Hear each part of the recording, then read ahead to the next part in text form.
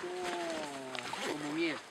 Entonces es una de las comidas favoritas del oso. Él lo que hace es rompe toda la mata, se come el corazón, pero la mata no la, no la mata, sino simplemente vuelve ella y retoña.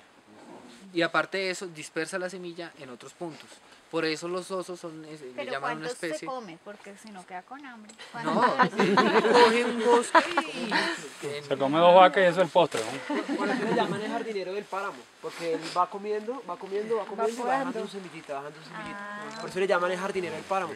Por eso también esta- estas especies también se le llaman especies sombrillas, eh, que al proteger este tipo de especies se, pro- se se promueve la conservación de estos ecosistemas y beneficia, o sea, prom- promueve la conservación de la especie bandera como lo es el oso de anteojos, beneficia muchas otras especies que vienen detrás de, esa especie.